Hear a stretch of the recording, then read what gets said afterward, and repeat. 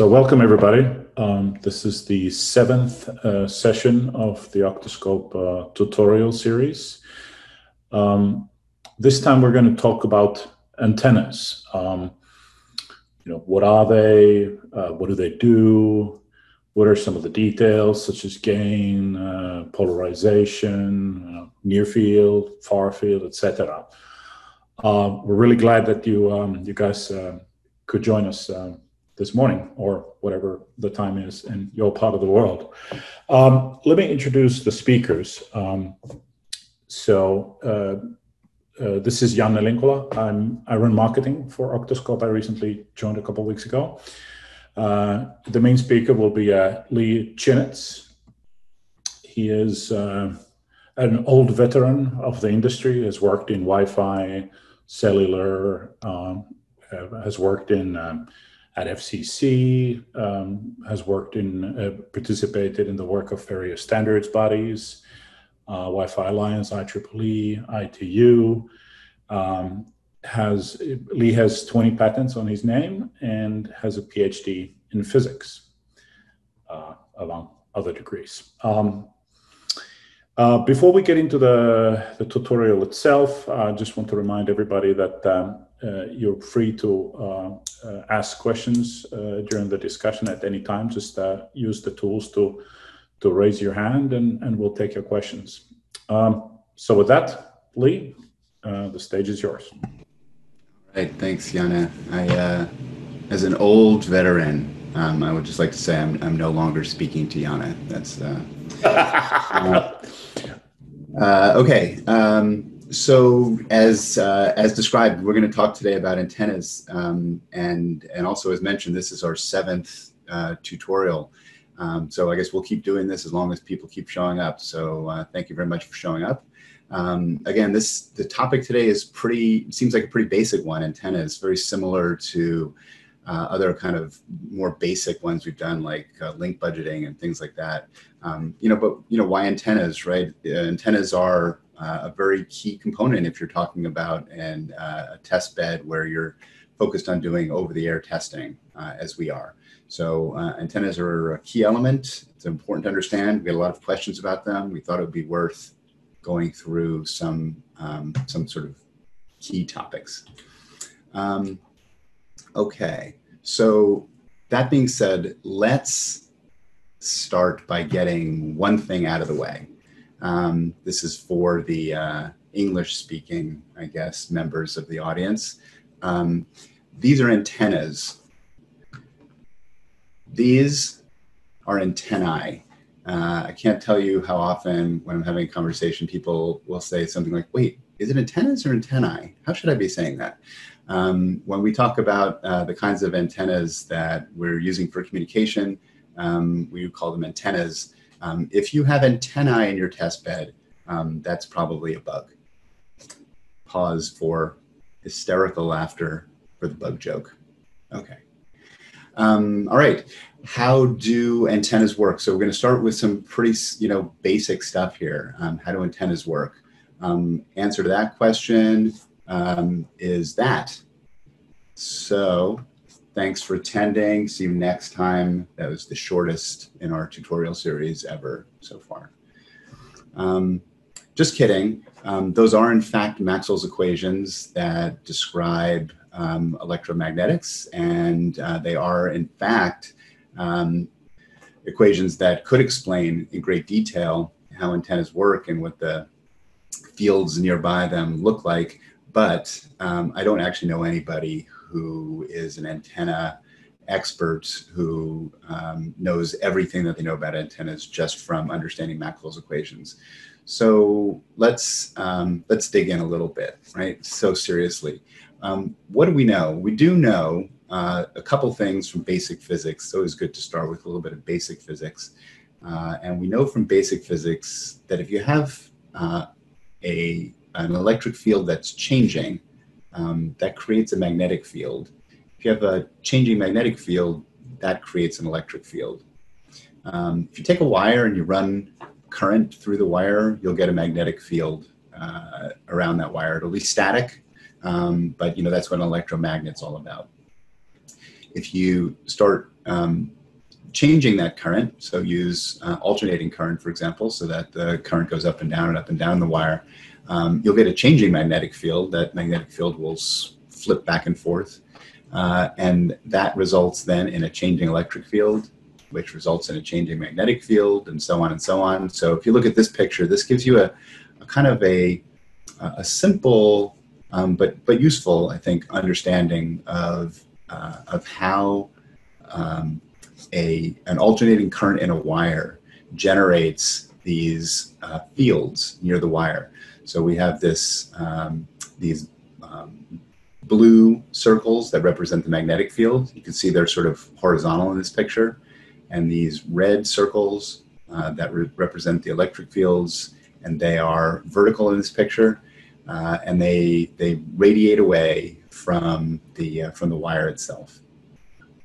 And that's why uh, when people talk about light, and I put light in quotes here, um, and you'll often see a picture like this. You'll see that you know the light is uh, is moving, and there are two pieces to it. There's an electric field, uh, and then there's a magnetic field, and they're at right angles to each other. Um, I put light in quotes because I'm pretty sure uh, that everybody uh, here knows that um, electromagnetic waves are all um, pretty much the same. The only difference between light and anything else is that it's at a uh, different uh, frequency and one that um, our eyes are sensitive to. But it's the same story for uh, light waves or radio waves that we use for communication. The only difference really being the, um, the wavelength shown here um, as lambda. That's usually the way people talk about wavelengths. So the, the, uh, the distance between the, the peaks of these, um, uh, of these fields. All right, so now that being said, we have our basic physics out of the way. So what's an antenna? So an antenna, basically a piece of wire uh, that's connected to a source of uh, alternating current. Uh, and as described, we can then drive the current up and down this wire, and that will cause electromagnetic waves to radiate. Um, it actually works in reverse too. Almost everything that we'll talk about today works in reverse. Um, so if you actually hit a wire, uh, with an electromagnetic uh, field with electromagnetic waves, that will actually cause the alternating current uh, to go uh, up and down. And that's what it looks like when an antenna is used as a receiver. So an antenna can both be a transmitter, um, where you cause the waves to come out, and it can be a receiver where when um, it, it, when it receives those waves, it uh, creates a current. Um, so, uh, oh, this is too bad. Oh, there we go. Okay. So, um, so the energy then that comes out of antenna looks something like this. Um, so on the in the picture on the right, we've got our little wire, and you can see that um, we've got current being driven up and down, up and down. It's flipping back and forth, um, positive to negative, negative to positive. Um, and the frequency uh, at which that uh, flipping back and forth is happening um, is in fact the you know the frequency of the uh, of the of the waves themselves. because light travels at the speed of light, hence the name. there's a relationship then between that frequency and the wavelength, which is shown here. The speed of light is equal to the frequency times the wavelength. Uh, and if the length of our antenna is um, about half of the wavelength, then we would get the energy shown uh, in this picture. So the energy that's coming out of that antenna um, shown in this picture is basically what would be happening in a slice. Uh, if you think of this slide as being a slice uh, in space, that's what the uh, that's what the the uh, the field looks like as it comes out of that antenna. Um, in three dimensions, it looks something like this, um, and you can see the uh, those those slices, for example, are these uh, um, red circles or green circles. You know, you can slice either way. Um, it's symmetric all the way around. Um, it looks like uh, a donut, uh, and it's referred to as a toroid. And that's what the uh, the energy, the field coming out of a uh, of what's known as a half-wave dipole looks like. So now I've said a half-wave dipole a couple times. I said that if the uh, if the, um, the length of our antenna is half of the wavelength, it would have that sort of pattern. So why do I keep focusing on half of a wavelength? Another uh, really useful way of thinking about antennas is to think of them um, as similar to strings. Um, and the reason is that you know people are much more familiar with strings than they are with uh, with uh, electromagnetics. Um, a lot of people played with strings, and you can see this guy here playing with this nice long string, and he's got um, one end of it attached on the right hand side. The other end of it, he's holding in his hand, and he has uh, basically kept that fixed. And he is now vibrating that up and down, and he's looking for the um, for the resonant frequencies, the frequencies at which he can make that string vibrate. And uh, you know, this is something that you know a lot of people have done just playing around. And um, what you know, if you've tried to do this, is that um, you can only set up those waves, those um, resonant frequencies, um, in for specific frequencies. So they uh, or specific wavelengths. Um, essentially, what you need is for the string to be able to remain fixed uh, at the points at which it's fixed. So um, the very longest wavelength you can get is one where um, you've got a fixed point here and a fixed point here, uh, and so the uh, the string is uh, again then becomes half of the the wavelength of the frequency, um, and you can do that for any multiple of half wavelengths.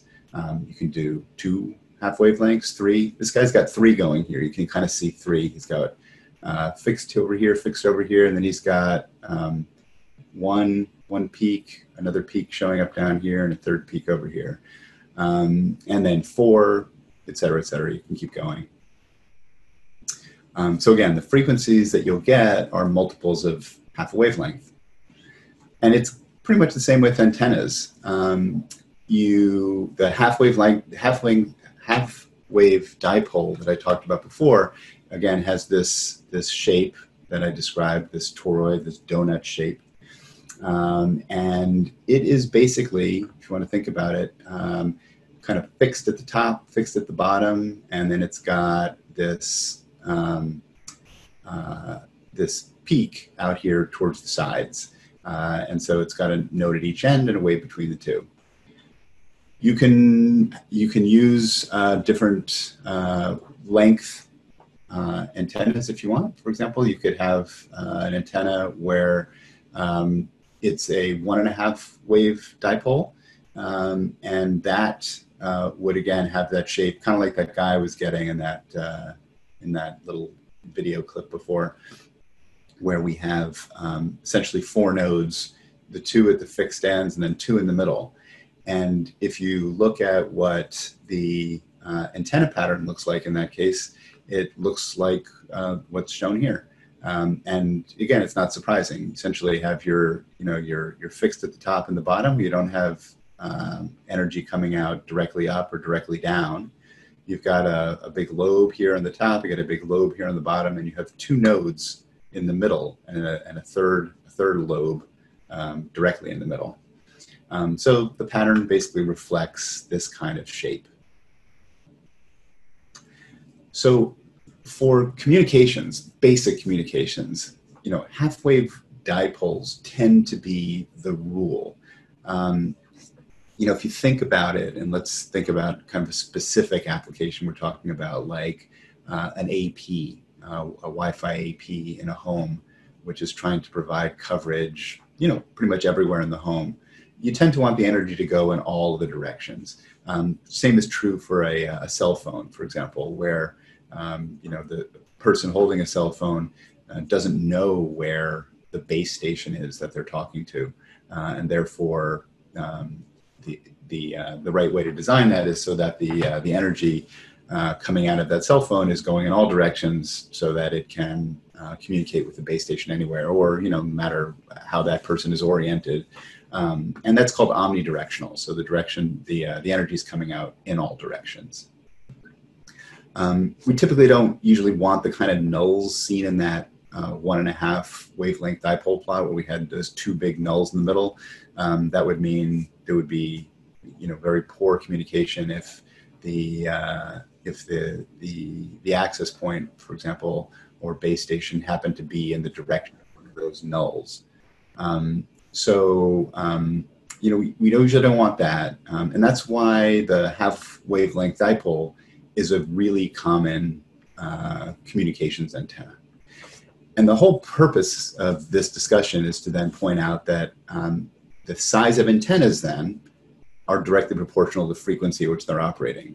You know, as I said before, the frequency is related to the wavelength. Um, we've just talked about why uh, it's kind of important to use antennas like half wave dipoles, meaning that um, whatever frequency you're operating at is directly related to the size uh, of the antennas. So, for example, if you um, you know, if anyone's ever seen pictures like this, like from the 1940s, um, of various communication devices, um, like you know, military radios here on the right. Um, you always see these uh, these guys walking around with radios and these just crazy long antennas. Um, you know, the reason for that is that uh, back in the day, um, people were operating at about 50 megahertz. Um, the wavelength at 50 megahertz is six meters, about 20 feet. So half wavelength dipole would be 10 feet long. So, you know, you now have some idea why, um, you know, back then antennas were always shown as being these really, really long things. But as technology has gone to higher and higher frequencies, uh, antennas are getting smaller. Um, and that's you know obvious from all the discussion that we've had. But just to give you a sense, um, 50 megahertz. Uh, if you look at the wavelength at 50 megahertz, like I said, it's about six meters, roughly the size of a giraffe. As soon as you move to 800 megahertz, the uh, kind of the low band cellular uh, frequencies around the world, 800, 900, um, there you're talking about 37 ish centimeters, um, about the size of a bowling pin. Um, these two pictures are roughly uh, to scale. So you you know you can see the dramatic difference as you as you move up in frequency, um, and then the rest of these pictures are not to scale because you wouldn't be able to see them if I did them to scale. Um, once we move to the 2.4 gigahertz band, we're talking about about 12 centimeters, so a few golf tees. Uh, five gigahertz, the upper uh, up until recently, actually, the upper uh, Wi-Fi band. Um, Wi-Fi is now moving to six gigahertz, but um, up until recently, the, the highest Wi-Fi band, five gigahertz, uh, just a, a, set of aspirin.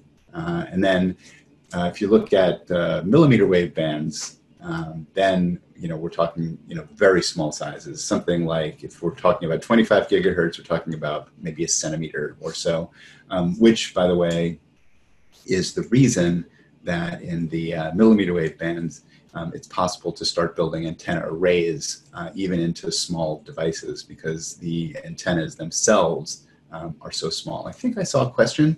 Is there a question we need to take? Yeah, there is um, from Harold. It says a quarter wave antenna are also commonly used. Yeah. What are their characteristics? If an antenna is not exactly halfway, say it's 40%, does the efficiency drop? For example, the power gets reflected back down the wire instead of radiated? Yeah, that's that's exactly right. Um, I'm going to actually talk a little bit about that in just a second. Um, but yeah, you're right. Um, quarter wave antennas are used. Um, you know, there's trade-off between kind of optimal efficiency and size.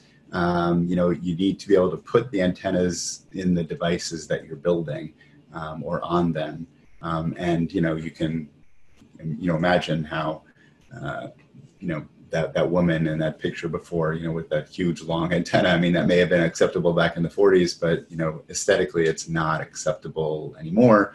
Um, you know, when I remember seeing early cell phones, you know, there were still those whip antennas that people had to had to pull out.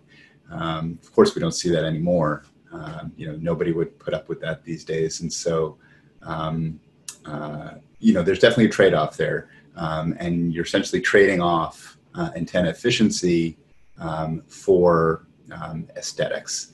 So let's talk about that a little bit. So antennas uh, then can not every antenna is going to work at every frequency.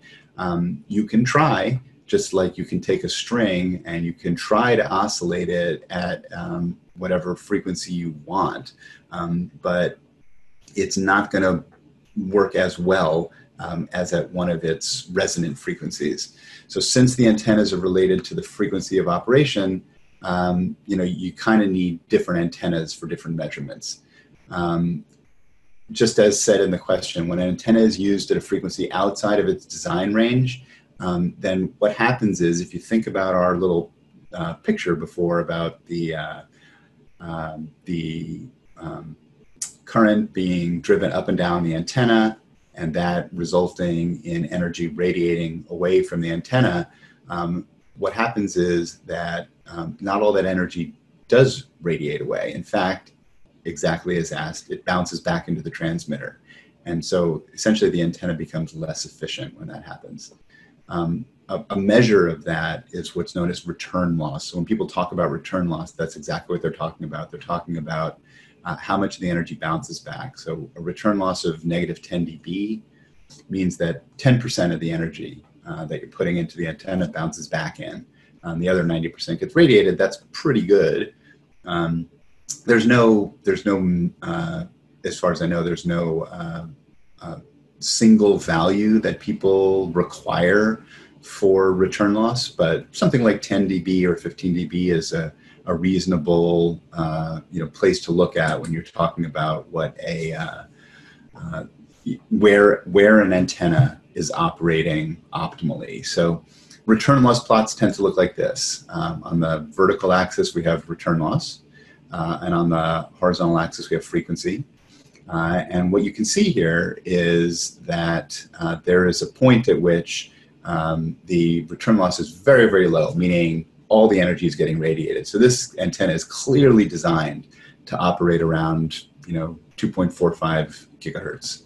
Um, but it does operate, you know, uh, at frequencies on either side of that. And you can ask yourself, so kind of where should I use it? And if you use 10 dB, negative 10 dB return loss, as the answer to that question, um, these markers show that that's between about uh, 2315 and 2580, so about over 260 megahertz or so of bandwidth. So this antenna is designed to work at about 2450, um, plus or minus, you know, with, with, with a bandwidth, sorry, not plus or minus, with a bandwidth about 260 megahertz.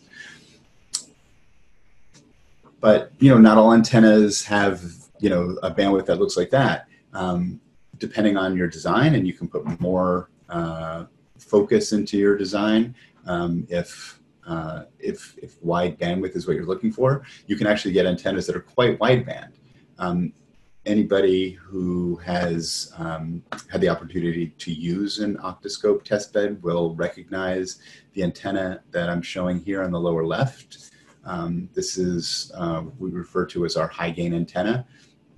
And if you look at the, uh, the picture on the right, you can see uh, the return loss plot, same picture as before. Return loss is a function of frequency. Um, and if we draw a line at negative 10 dB, you can see that the return loss, um, uh, negative 10 dB return loss bandwidth for that antenna is over 5 gigahertz, um, not, not operating at 5 gigahertz, but 5 gigahertz of bandwidth from about uh, 2 gigahertz uh, up to over 7 uh, gigahertz. Um, you can also see, by the way, something very important that, you know, there's when those, when antennas are designed that way uh, for, you know, specific ranges, um, the return loss can change quite quickly. Um, you'll notice that below two gigahertz, uh, the return loss rises quickly. Um, and so, um, you know, it is important to know what the um, operating range design of the antenna is. I see some questions, questions we should take. Um, uh, no, I think it was just a uh, comment. Okay. Okay. Yep. Good. All right. All right. Uh, so I mentioned that this is Octoscope's high gain antenna. Um, so let's get into that. Why did I bring up gain all of a sudden? Um, we mentioned it. Let's talk about it.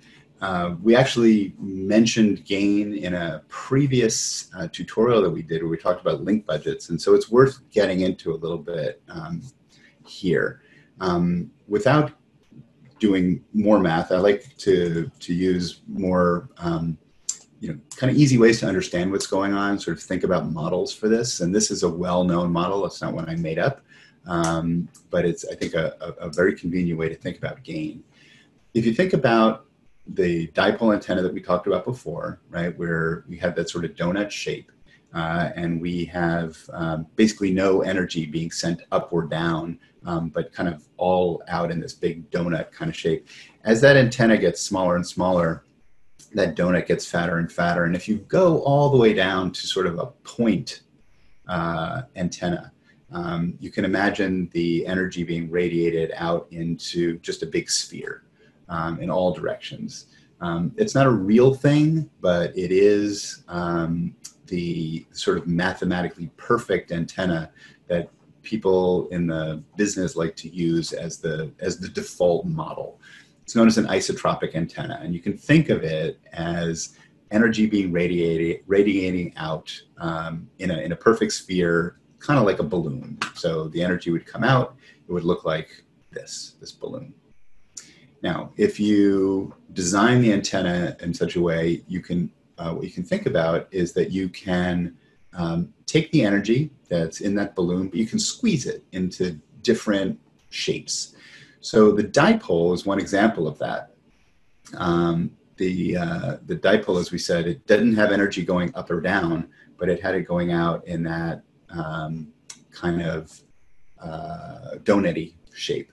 But other designs are possible too. Um, for example, uh, directional antennas. In a directional antenna, you can imagine sort of squeezing the, the balloon so that all of the energy is going out in this example to the right of this picture. So if you were on the right hand side of this slide, you would um, have quite good reception from this antenna. But if you're on the left hand side of this slide, you would have quite poor reception because very little energy is going out in that in that direction.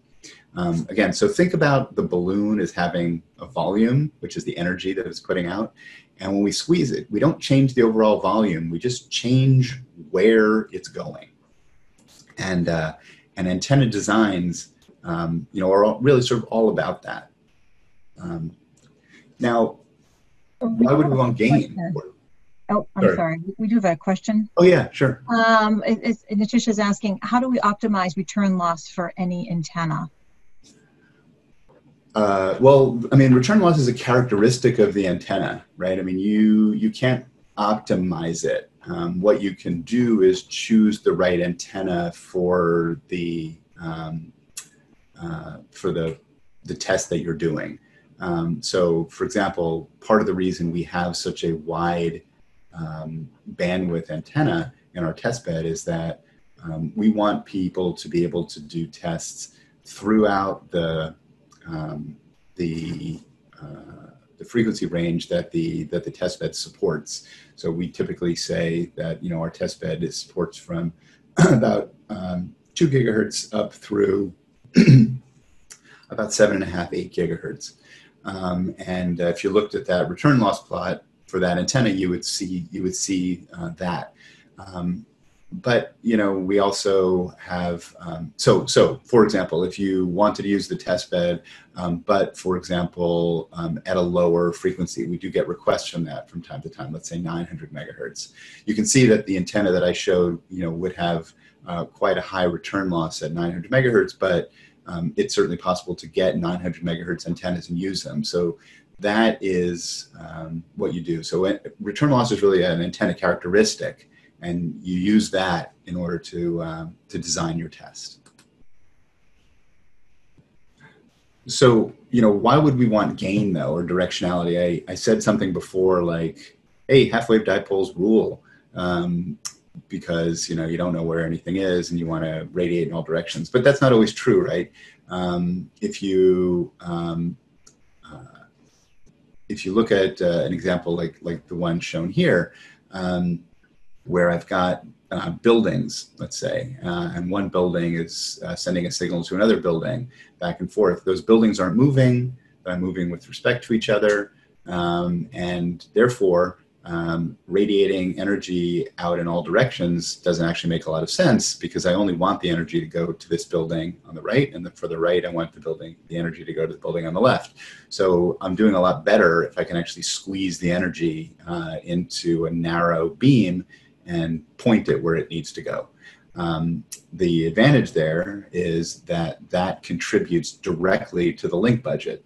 Um, for I'm not going to go into details on link budgets. We did that in a previous tutorial, so anybody who's interested, please take a look at that one. It's called Fundamentals of RF Link Budgeting in Wireless Test Beds. But uh, the uh, the basic point is that um, the more energy you can point in the direction of the receiver, uh, the better that receiver is going to be able to hear you, so you can go further. So if the transmitter and receiver are in a stable orientation relative to each other, then a high gain or directional antenna may be just what's called for.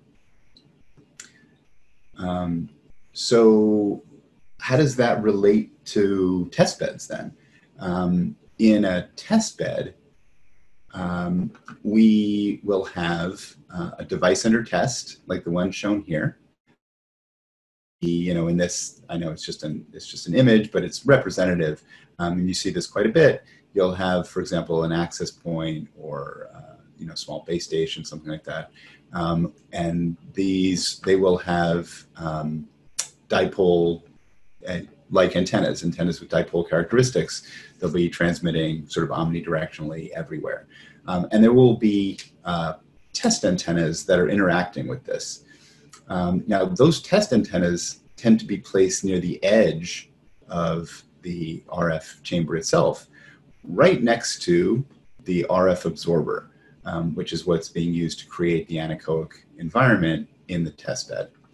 Um, so if we put a dipole antenna as our test antenna, um, then we will have this pattern.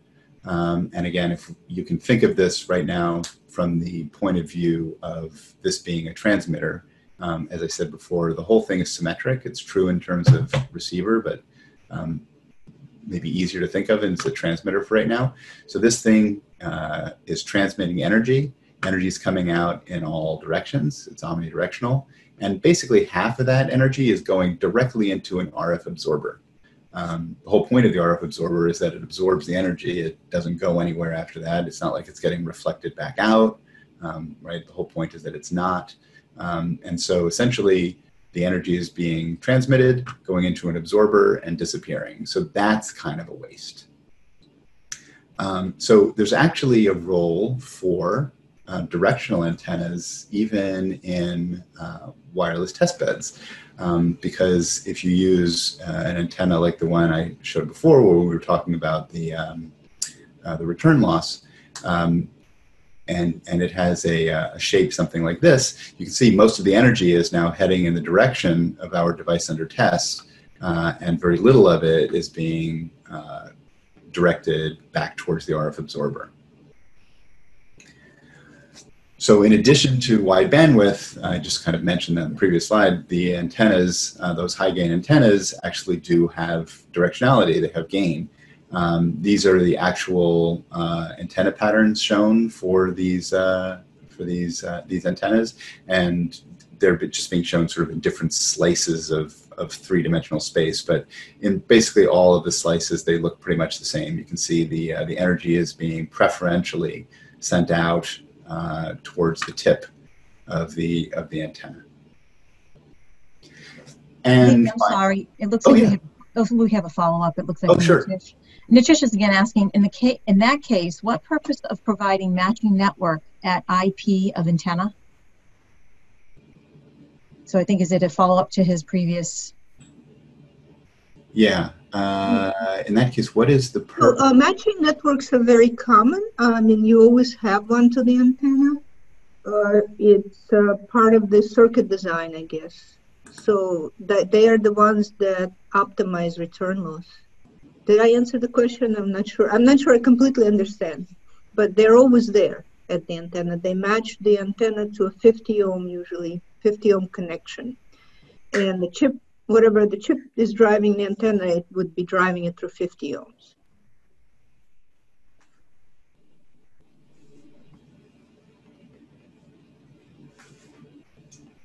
Hopefully that answers. Otherwise, we can always, uh, you know, by the way, please feel free to um, reach out to us after if we're not uh, able to address whatever question you have during the tutorial, and we're always happy to keep up, keep the conversation going. So there's one last topic related to antennas, um, and that's the issue of polarization. Um, if you remember that first picture that we showed with um, the alternating current and the radiating fields, um, and I mentioned that it works in reverse too. If you hit an antenna uh, or a wire with a field, um, you will uh, generate uh, a received signal. So um, that's you know what I'm showing here. If you take an, uh, a wire oriented in the same direction as the, the transmitting wire, uh, when when this electric field reaches it, it will drive a current, uh, and that's that's our receiver. So polarization, when people talk about polarization, it actually refers to the orientation of this electric field, these red circles here. But if the transmit and receive antennas are not similarly oriented, as in this picture, like imagine putting one at right angles to this, um, then you can kind of just imagine, just by looking at it, that these electric fields are not going to be very efficient at being able to drive a current, meaning this uh, antenna um, will not necessarily be a very good uh, receiver for, uh, for this transmitter. So are those antennas that I mentioned before? Now we've talked about the return loss of those. We've talked a little bit about the, um, uh, the gain of those. How about the polarization? Are they polarized? Uh, the answer is yes. Um, these antennas are what's known as, uh, as log periodic antennas. Um, they're built from what are essentially a set of little dipoles. If you look at these, uh, these, these small uh, traces on this, um, uh, on this design, you can think of each of those as a little dipole. We talked before about how um, uh, uh, shorter uh, or sorry, lower frequencies have uh, have longer wavelengths and therefore need uh, longer antennas. So you can kind of see how what we're looking at here are a set of antennas uh, designed to handle different frequencies from lower frequencies up to higher frequencies. Um, the log, by the way, in log periodic has to do with the uh, the spacing between those um, uh, antennas, which are in, in a logarithmic pattern. So the polarization then is basically the same as the polarization of dipole antennas, uh, just, just along the, uh, the, the dipoles shown here.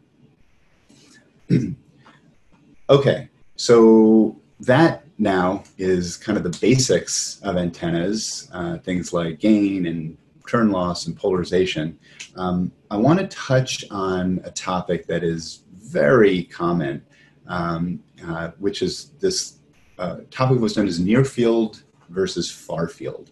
Um, you know, we will often uh, talk with customers um, about uh, what, what people refer to as near field effects or things like that, whether or not a small chamber is able to, uh, uh to perform um, you know, very well um, because of near field effects. So what is the near field, by the way? Let's, let's just define it for a second um, those those equations that I showed you before, Maxwell's equations, they are correct everywhere and they can be solved everywhere in space. But they're a lot easier to understand when you're far away from the radiator. When you're far away, you get those patterns that I showed before, where you have electric field and magnetic fields that are at right angles to each other, um, and you know what people like tend to like to draw uh, when they're talking about light or radio. Um, nearby the transmitter, the relationship between the electric and magnetic fields is a little more complicated. You have terms in those equations that, um, that are really only valid nearby. Uh, and then the electric fields magnetic fields aren't necessarily only at right angles to each other. They have a much more complicated shape. Uh, and that's what people refer to as the near field. Um, where is that? Terms like near and far don't help that much. Um, but um, the near field actually depends on the frequency that you're operating at and the size of the antenna. I've put antenna in quotes here. Um, uh, I'll explain to you why in a second. Um, 3GPP actually defines uh, the, the, the radius where the near field ends Um, and this is their definition. It's related to, as I said, the, uh, the, the frequency or the wavelength. And then D here is what I have as antenna in quotes. It's actually uh, the, the, the, biggest um, dimension of whatever is doing the radiating. So, um, for example, in a laptop, even though you might have an antenna built into the laptop, the entire antenna, sorry, the entire laptop case um, will participate in radiating, and therefore uh, the um, the equation here talks about the the largest dimension, not just the antenna itself. So if the thing doing the radiating is let's say 25 centimeters, you know, not an unreasonable you know size, um, and the frequency is let's say five gigahertz, you know, obviously some like a Wi-Fi uh, kind of um, uh, frequency. The wavelength at 5 gigahertz is 6 centimeters long. So if you throw that into here, you see that the near field extends out about 200 centimeters, so 6 feet, um, which means that for typical measurements done in an octoBox, um, those measurements are in fact being done in the near field. I mean, people ask us about that, um, and it is true. Um, in many cases, um, measurements in the octoBox are being done in the near field. So let's address what I like to call the elephant in the room here, which is can we do MIMO based performance testing using antennas in a near field, in a chamber in which we're in the near field? Short answer to that question is yes. And if that's not good enough, then I will have to go into some detail. If you're not going to trust me, which I can sense through Zoom that you're not, um, then I will I will give you a little more detail.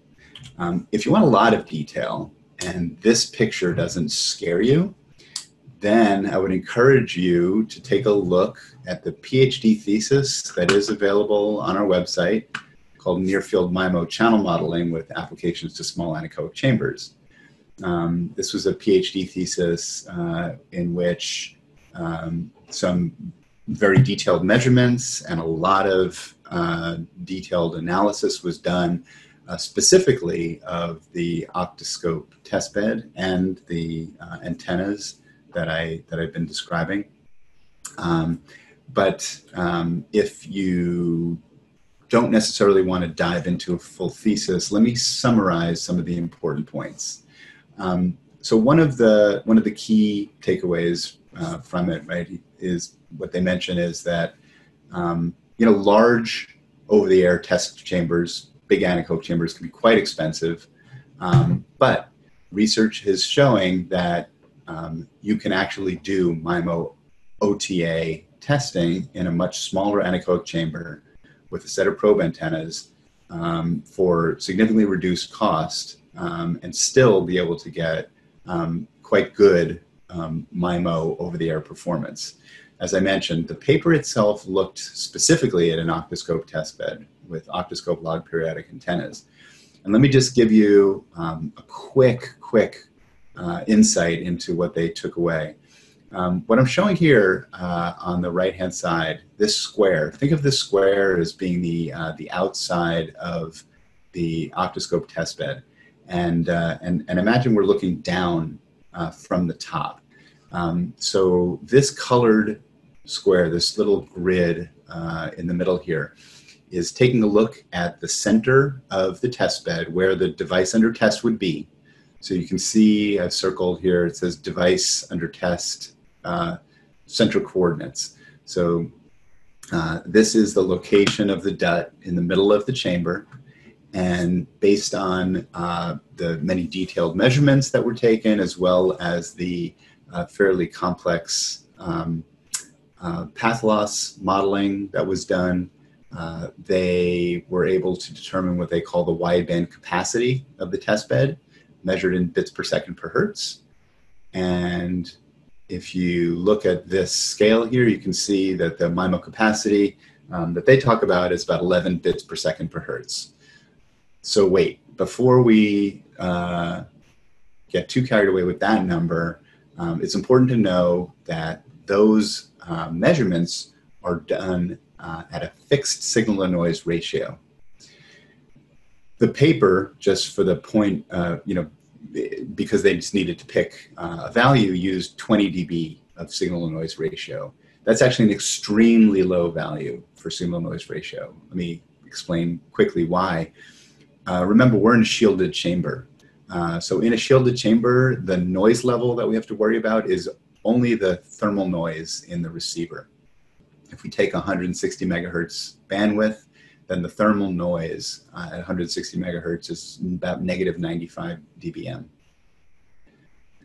If we assume that the signal level that we can get uh, is something you know quite high, um, like let's say around the top level that is called for by the um, IEEE 802.11 spec of let's say negative 30 dBm, and by the way we can, you'll see that we can reach those numbers. Um, that means that our signal noise ratio is more like 65 dB. Um, and the analysis then for 65 dB uh, shows that the capacity is more like 75 bits per second per hertz. So is that good? 75 bits per second per hertz? Well, let's see what MIMO capacity we would need uh, to handle 11AX at its most aggressive. 160 megahertz, 8 stream, eight stream MCS 11, 802.11ax is is 9.6 gigabits per second, so 9608 megabits per second, and 160 megahertz is 60 bits per second per hertz. So yes, 75 bits per second per hertz of capacity in the test bed is very good. Uh, it handles 11AX even at its most, most aggressive. So having done all that, hopefully convinced you that, uh, that these uh, test bed antennas are certainly critical, and also that um, the the test beds themselves are more than capable of handling, uh, you know, MIMO testing. Um, let's do some demos before we run out of time, um, and um, uh, what I'm going to do is uh, do a couple demos that are related to all the things I just talked about. Um, the test bed that we're using is uh, the, a test bed we call the Stack Max. Uh, it's the test bed we've been using in all the other tutorials, and um, I'm not going to get into a huge amount of detail. Um, it has a number of chambers. They're all connected to each other in various ways. Actually, what I'd like to point out here in this picture this time are the antennas. So take a look uh, in this top uh, chamber here. You can see uh, antennas that are all around uh, the DUT, for example. Uh, you can see in the lower chambers, um, we've got cases where we've got multiple rows of antennas um, on one side, for example, uh, others where we have only a single row of antennas. So antenna placement in the test bed is extremely flexible um, and um, also very important. It's really important to understand kind of what's going on. Um, what I, uh, the other thing I'd just like to kind of highlight here, this is a logical then picture of that same stack, the one that I just showed you. Um, for, so for example, this one labeled smart box at the top, the big one with the access point on a turntable, um, is the one that had the antennas located all around. Um, one thing, um, just to, uh, so you understand what's going on, is that when we draw the antennas, when we draw these dark blue antennas, we're actually talking about a set of four antennas. When we draw these green antennas, we're talking about a set of two. So here you can see it, it looks like only a few antennas, but if you look up here, you'll see um, many, many antennas in there. I'm going to explain why we have uh, so many antennas and kind of why groups of four also.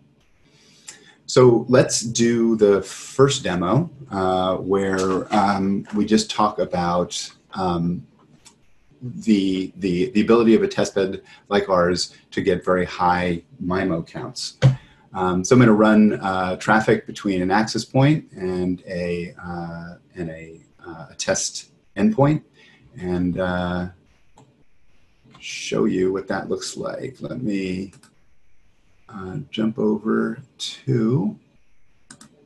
So uh, this is a this is one of our test beds, um, and um, one thing I just want to point out is that um, I've attached this test bed by browsing uh, directly into it uh, using the browser. This is uh, this test bed is just on our local network, um, and this is uh, one of the ways, one of the things that makes uh, using our test beds convenient. Um, you can actually um, reach them pretty much from anywhere, or actually from anywhere. In this particular case, I've browsed into um, to an IP address that's on our corporate network. It's actually also possible to go directly over the internet. We have some test beds that can be reached that way as well. Um, uh, just quick for people who haven't seen it before, this is our user interface. Uh, our user interface, by the way, is undergoing uh, some major changes. Um, we'll have all this functionality that I'm going to show now, but um, hopefully in, in even a, a, more user-friendly and uh, uh convenient uh, interface in, in, upcoming tutorials. I suspect we'll start to switch over to that new, newer uh, interface, but um, for today, um, show you this one. Um, we have the ability in, uh, in the interface to configure the test completely. Um, I have set up uh, traffic um, here between uh, the, uh, essentially between the device under test and um, the, um, the PAL, uh, which is the test endpoint. Uh, just sorry, really quickly, it looks like that has disassociated. I'm not sure why. So we can get it to come back. Um, I will check in a minute. Um, we can do uh, many other things. We can control our attenuators, we control our turntables, things like that. Um, there we go. Okay. Um, so let me let me uh, just run some traffic now, and uh, show you a couple other things. So now I'm running traffic um, between my, uh, my device under test and my test um, antenna, uh, my test um, device. And the, the point we wanted to make here, right, is that we can do, uh, we can handle multiple um, MIMO spatial streams in the test bed. You can see that over here. You can see that we've got, um, uh, hmm, interesting. Uh, you can see that we've got four streams I don't know why the test stopped. It was actually configured for much longer than this.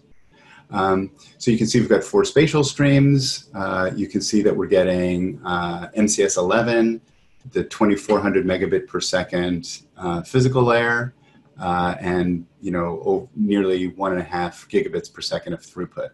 Um, the uh, the signal levels, as I mentioned before, are quite high, which is what you know justifies our ability to support uh, such high wideband capacity. I can see, you know, so 40, negative 40 dBm, um, meaning, you know, we have 60, 70 dB of, um, uh, of uh, signal noise ratio. Okay. Pop back over now to our presentation. Okay, uh, so um, one of the things that I wanted to um, describe here is why we have. Andy, there is a question oh. we may want to take from Nihar. Sure. we got? Nihar sent us a note. He's using our high gain antennas. That's, that's terrific. They're actually quite popular in the industry now. Uh, so Nihar is asking, can we test the receive sensitivity uh, with the setup for NE-AP?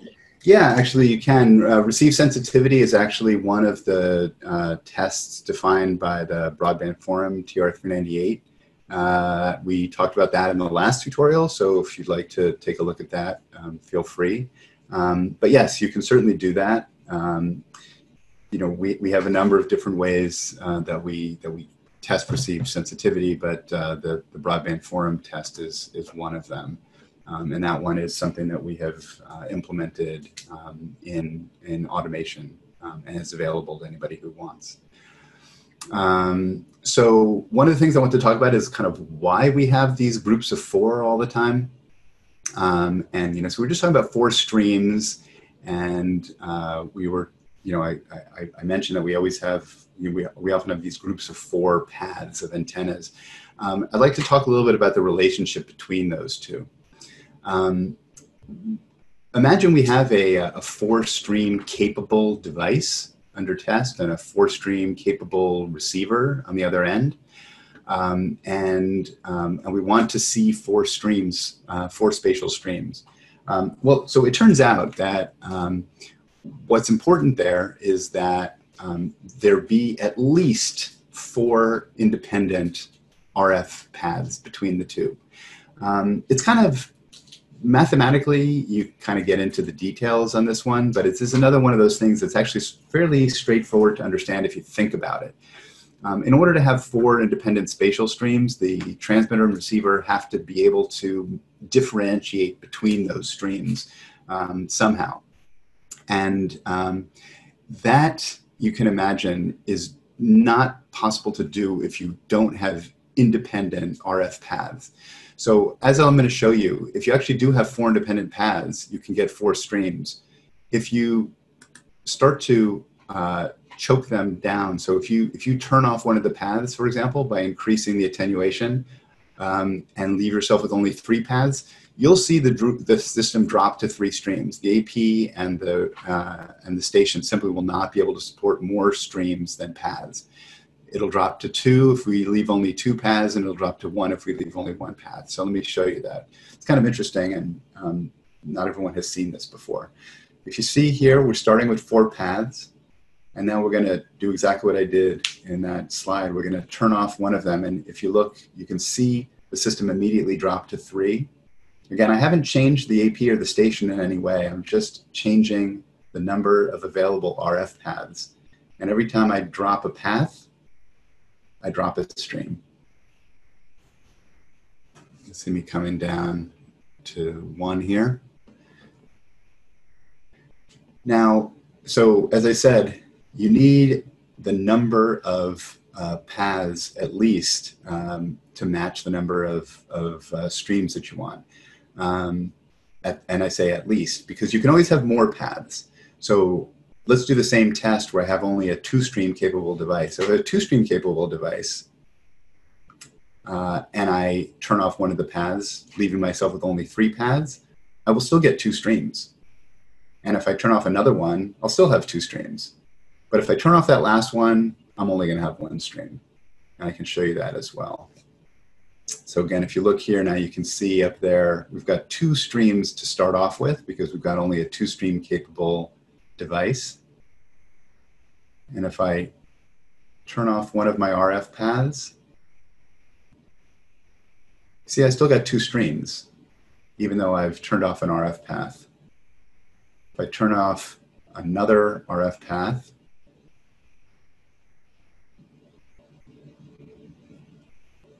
still got two streams. I've got two paths, I can still get two streams.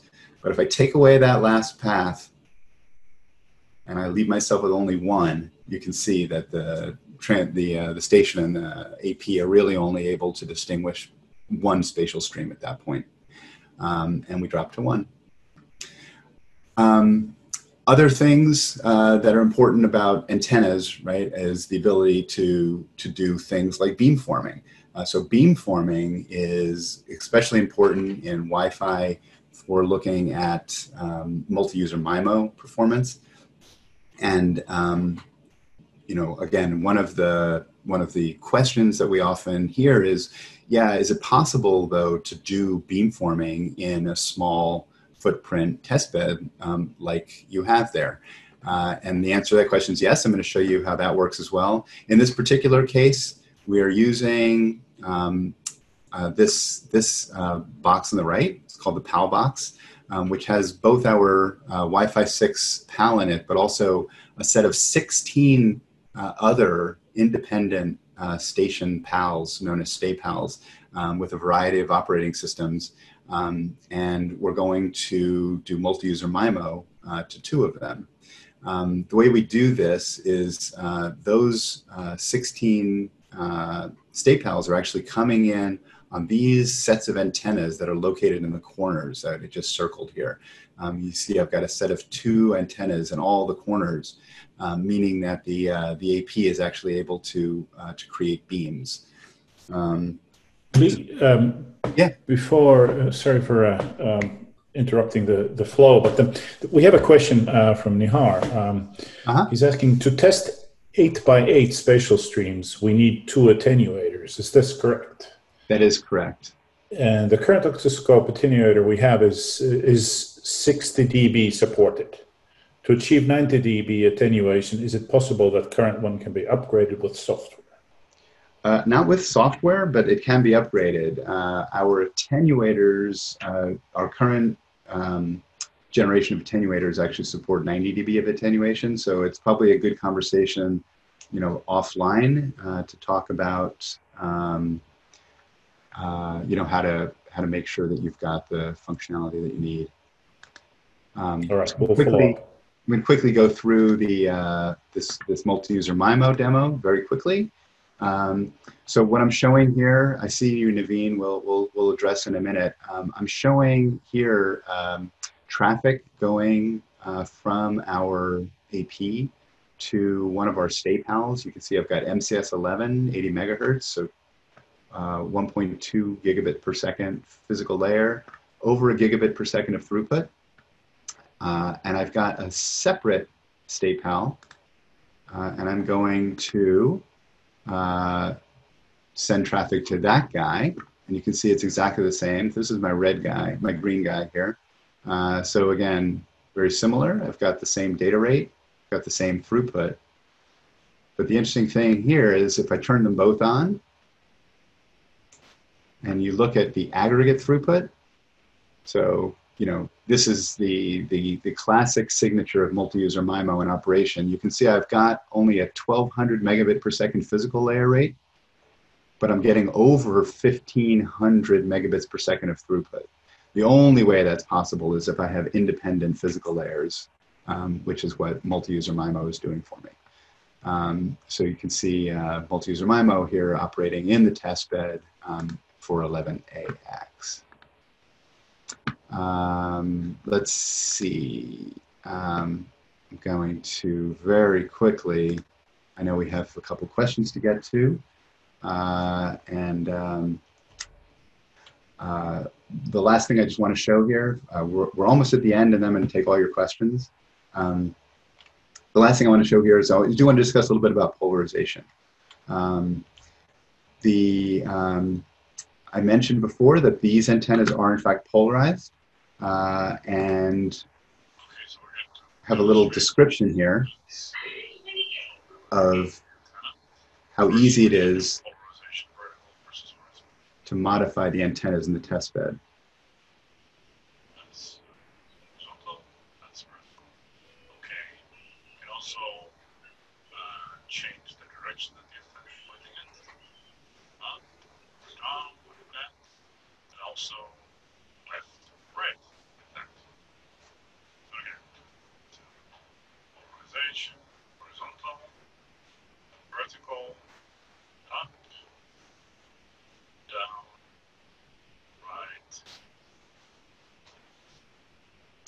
So, uh, so what, what's uh, interesting about this, right, is that um, given the ease with which you can, um, you know, change the antennas in the test bed, you can actually take a look at the effect polarization would have on results.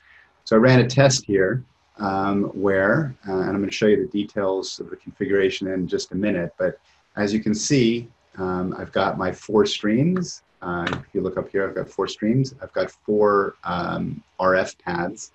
And, um, and what I'm doing in this test is one by one, I'm rotating the antennas as just shown to go from um, linearly polarized to cross polarized uh, or, you know, polarized to cross polarized so that, uh, and, and it, you can watch each, as I turn down each one of those uh, antennas, um, the, the, uh, the, the received signal level drops. Um, and let's take a look at the details behind that drop. It's a little hard to see at this scale, but this is the test I did. So if you look at the device under test, you can see that the antennas, you know, are clear sort of dipole-like antennas. You can see their polarization. And if you look at our antennas, it's this set of four up here. So you can see I initially had them aligned with the device under test. And then what I was doing was individually turning each one so it would be cross-polarized like that. And if you look at that data, kind of zoom in on it, you can see the effect. It's actually a fairly significant effect. We're, we're looking at about 15 dB uh, from, um, from cross-polarizing the antennas. So you can see a fairly uh, noticeable drop in the received signal level. So just quickly, uh, let me quickly kind of summarize a little bit about antennas, uh, everything we've discussed today. So it's important to know that antennas, right, have frequencies Leigh, there of is a raised hand uh, if you'd like to take a question from the. I'm going to finish this slide and then I'm going to take all the questions because this is the last slide. Um, so um, the antennas, they have frequency of operation, they have gain, they have directionality. So it is important to choose the right antenna for your testing. Polarization does have an effect. Um, and so it's best practice to align the test antennas with the DUT antennas whenever possible. You need at least as many RF paths as spatial streams to do this MIMO testing. You can have more, but you can't have fewer. Um, and if those paths are reasonably well separated and the chamber environment allows the separation of many spatial streams, um, you know, as we showed, you can actually, you know, do uh, high order MIMO testing. And so most importantly, a well-designed small form factor RF chamber can be an excellent low-cost environment for testing high-order MIMO, beamforming, and other advanced wireless features. Um, so with that said, I know there were a bunch of questions, so let's take them all right now. Uh, do we have? A Good morning, Leigh. Yeah. Hi. Good morning. Yeah. So uh, I do have one question. So there is a feature called antenna diversity. So for choosing the right antenna, uh, do we uh, do we have this feature tested? Antenna diversity.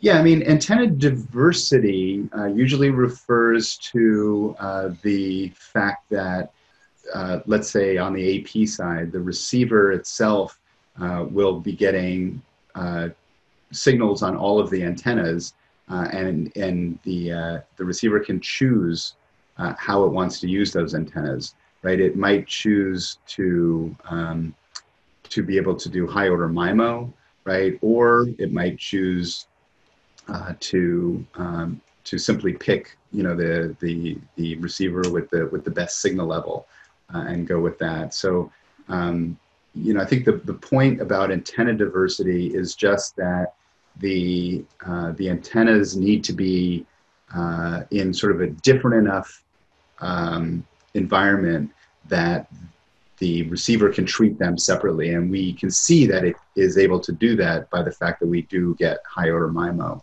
Um, so in fact, you know, it's able to actually differentiate multiple spatial streams, not only uh, use it for something like, you know, maximal ratio combining or, or straight, you know, antenna diversity. So Leigh, um, a, a, little bit on, along those notes, there's yeah. a question here from Nihar, um, is asking about um, antenna polarization and whether it can be used as, a, as an independent um, path. Um, uh, he's asking, is antenna polarization also important for OFDMA gain, and can, can you get um, OFDMA benefits by using uh, polarization? Well, that's interesting. you know, so OFDMA doesn't strictly require uh, spatial separation in any way, right? OFDMA is doing separation in the frequency domain.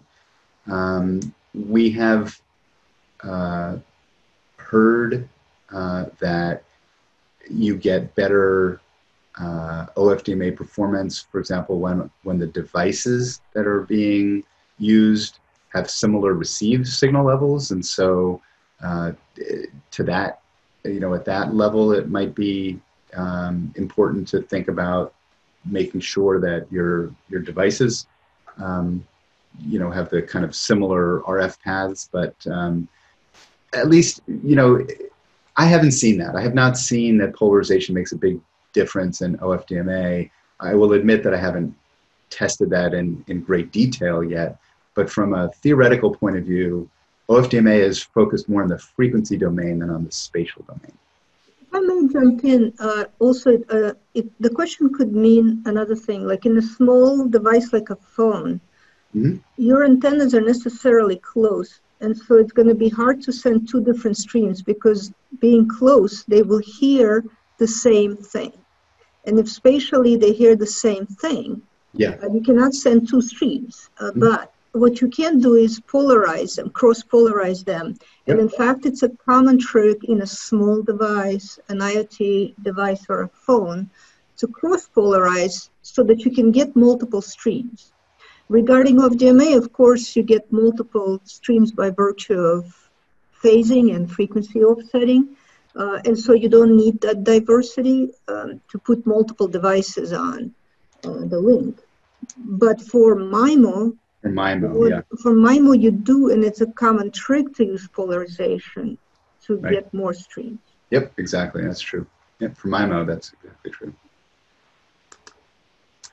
Um, I know we've gone a little bit long. Um, I'm happy to stay and take questions, but um, that is the end of today's tutorial. Next week, we're going to talk about test methodologies, real, well, not next week, next seminar, which should be in a week or two, uh, real life versus controlled testbed. Um, but as always, if there are topics that are of particular interest to you, feel free to send them in and we will try and work them into the series. So thanks very much for attending. As I said, I will stick around. Um, for those of you who were not aware, um, all of those tutorials, including this one, are um, are recorded and have been posted. So this is the set so far. We'll be adding this one. And um, you know, please, if any of them seem of interest, go back and take a look. Yep. Thank you, Thank you folks, for attending. Uh, we have another session at 4.30 Eastern and then a third one, 10.30 Eastern.